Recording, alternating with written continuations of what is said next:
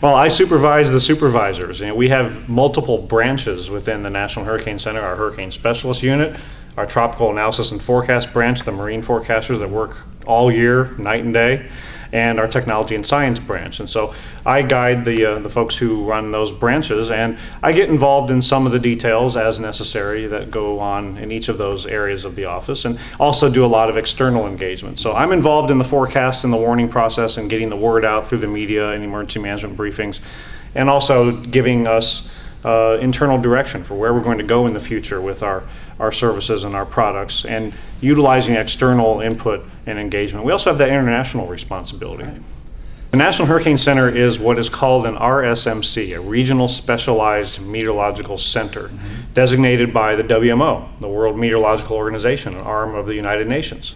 So we have an official international responsibility to provide forecasts to the areas of the Gulf of Mexico, Caribbean, Atlantic Basin, also the Eastern Pacific. Uh, now, the, the, individual countries provide their own warnings for themselves, and they do issue their own local forecasts, but they rely on us for the big picture forecast, much like our local forecast offices do here. But the, the international relationship is unique because it involves uh, off season engagement and uh, planning for what the overall uh, set of products and services and warnings are going to be throughout the basin and there's an outreach component and then during the event you know they're providing us some data we're providing them guidance. It's a really good relationship with many countries involved.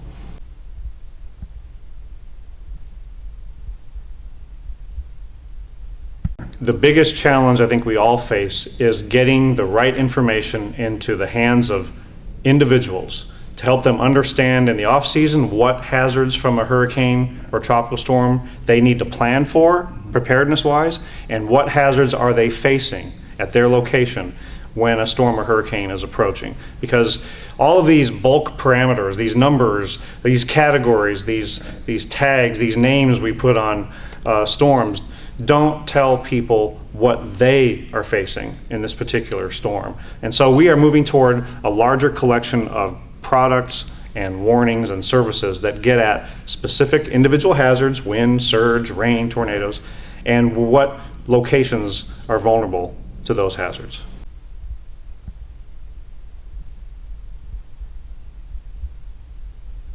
Yeah, we, we live in an information overloaded society with multiple media outlets. How many channels do you have on your cable or satellite system now? How many different websites can you go to? And then there's all the social media uh, activity. Now, I see things like social media as tremendous tools, not fads, really tremendous tools for communication.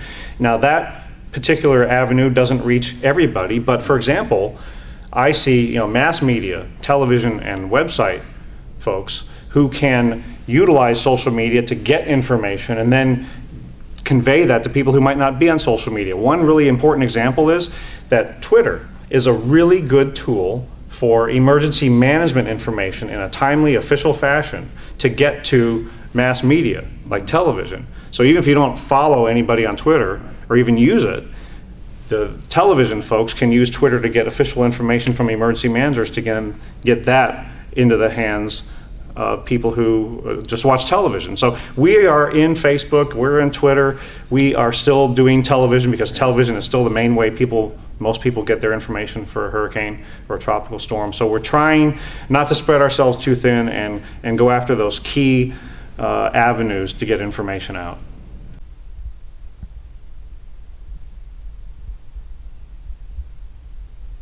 Uh, we learn from every hurricane season. We learn from every storm how we might be able to improve our services for the future. And for years and years, we've had this end of season meeting, the NOAA hurricane meeting, to get together and figure out what went right, what went wrong, what can we improve. And some of those things are ideas or problems we've been trying to address for years and years. And so as we head into 2013, we've got some things specific to Sandy that we think we're going to be able to make some changes based on. And we have some other things that we're going to change or move toward changing based on ideas and experiences we've had for more than a decade.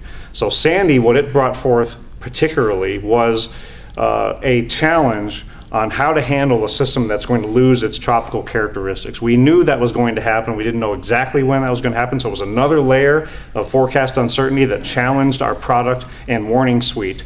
But uh, based on what we end up hearing from the Sandy Service Assessment, I, and I think we're going to hear some positive reviews on the on the idea to give ourselves more options, to have more flexibility in using NHC advisories, hurricane and tropical storm warnings, even when a system goes post-tropical, so that this transition in the meteorological world is more transparent, more seamless to the user, if that is the best way to handle it in a given situation. It's not mandating we're going to do it differently than Sandy in the future, but it gives us more options.